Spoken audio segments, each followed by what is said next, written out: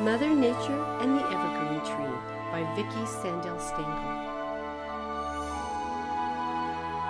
Why are trees green? I once asked my father quite innocently. He laughed as he bounced me straight up onto his knee. Did I never tell you the story of how Mother Nature made this all come to be? He began. All the creatures were constantly worrying that everything seemed dead in the winter and nothing seemed living. Now Mother Nature pondered this and decided they needed some cheering and a little proof that life still resonated in the hushed clearings.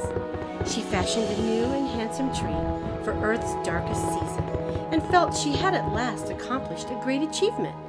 But then Mother Nature realized she still had something left to do, something that would require even more fortitude.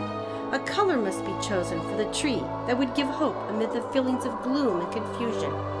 To be sure, she had some help, but some criticism too, which usually happened every time she tried something new. On Monday, Mother Nature began, as all experimenters and adventurers do, very daring and very grand. She created a tree that was red, such a sumptuous red, but with prickly needles and the same color as Santa's giant sled. Santa huffed and bellowed to Mrs. Claus, Mother Nature has made me a pole. It is too big of a color to splash around. What could she have been thinking? The very idea is simply unsound. On Tuesday, Mother Nature sniffed and swallowed her pride and changed the tree to blue. Blue, velvety branches swaying softly amid a sapphire hue. At first she smiled and thought, oh yes, yes, this will do. But at the end of the day she sighed and said, Perhaps blue was too cool. The wind had been whistling sad songs all day long, and even Mother Nature had to admit she felt a chill in her heart. It was such a lovely color, but she decided she must try another. On Wednesday, Mother Nature arose, determined to make the tree inviting and winning. She smiled and sent a glimmering stream of silver trimming. A tree of silver, how delicious to see! As the silvery limbs fluttered from the fairies' game of tag and freeze. Oh, it was something to see. But Mother Nature was not sure a tree of silver was really of this world, but perhaps should be for another.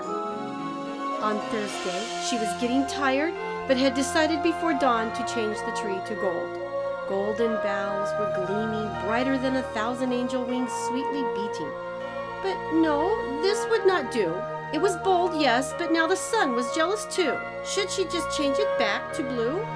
She moaned and confessed, What must it be like to work without all this interference coming and going in my head? On Friday, time was running out, and unable to think any further, she tried changing the tree to basic white, which was a lovely sight. White, snowy shoots covered with dangling diamonds of ice.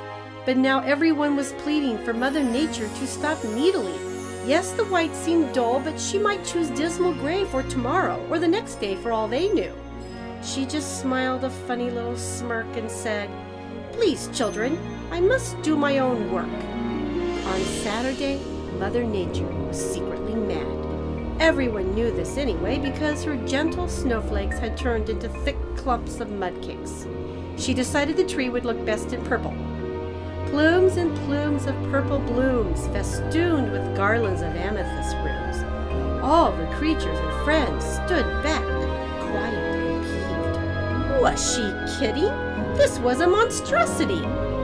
But Odin stalked forward, bulky and strong, saying the runes were his.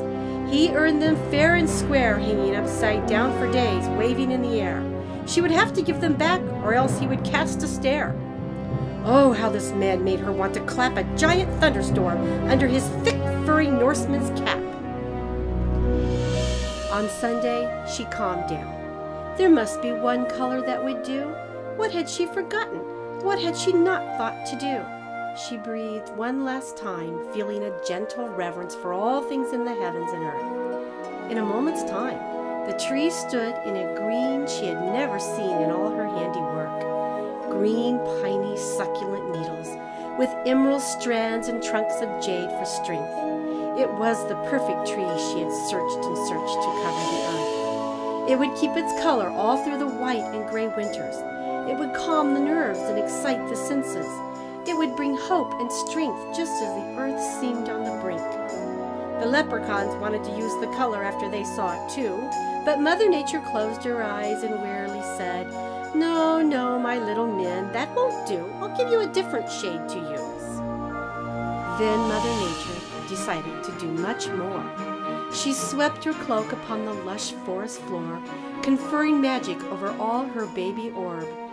Let it be known that green can bring peace and goodwill throughout all the earth if humankind will respect its worth. Woe to those who would strip my child of green, she announced sternly but serene. Happy for a job well done, Mother Nature said to all the creatures present. Now, about the color of the sky. I was thinking perhaps something in a brown pheasant?